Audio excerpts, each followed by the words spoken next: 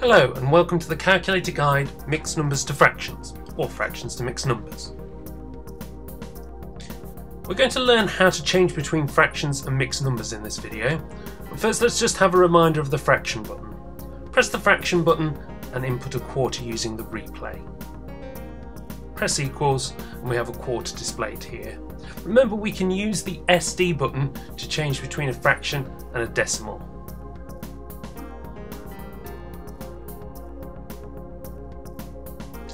Let's try now to change between a fraction and a mixed number. To do this we're going to input an improper fraction, 5 thirds.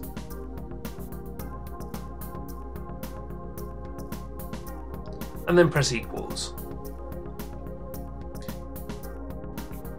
We're going to change the improper fraction to a mixed number using this function here. To access this we need to press the shift button and then the SD button. And here we have our mixed number, 1 and 2 thirds.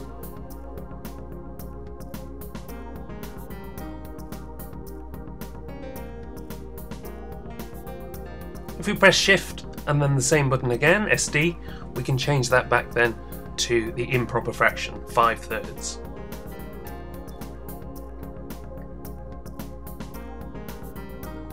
Let's have a look now at inputting a mixed number. We can see that that's here above the fraction button, so again, we need to press shift first.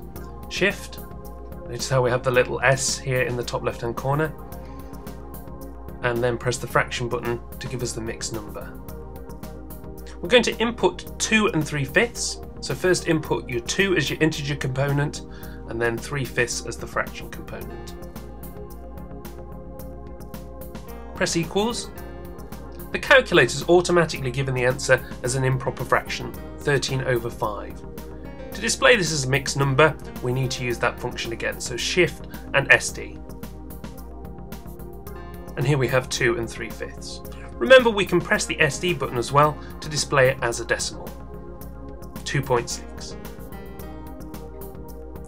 That's it for this video. Thank you very much for watching and we'll see you again next time on the Calculator Guide.